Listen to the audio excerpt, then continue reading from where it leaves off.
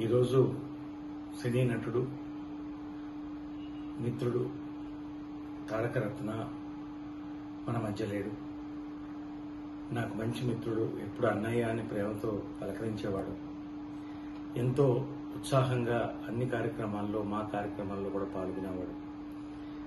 ఈ రోజున ఇంత చిన్న వయసులో తారక రత్నని దేవుడు తీసుకెళ్ళిపోవడం అనేది కుటుంబానికే కాదు మా అందరికి కూడా అతని మిత్రులు సినీ ప్రపంచాన్ని అందరికి కూడా షాక్ను గురితీసింది.